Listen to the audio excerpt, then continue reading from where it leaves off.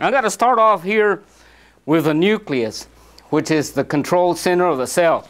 The nucleus is very much like a policeman controlling a street intersection. Those of you that have been in a traffic jam, and I'm sure that those of you that are in metropolitan areas out in the state of Texas or all over the world for that matter, sometimes you run into a situation where the street gets jammed, and here is the policeman in the middle of the street saying, Stop! Hello, alto. If you don't understand English, it means alto, stop. You know, we're global, so we got to be a little bit international here. So we don't have a choice, but, you know, to be bilingual. Well, anyway, and the policeman says, Stop.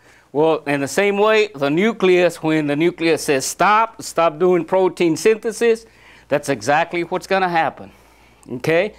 Now, and of course, as the nucleus is in control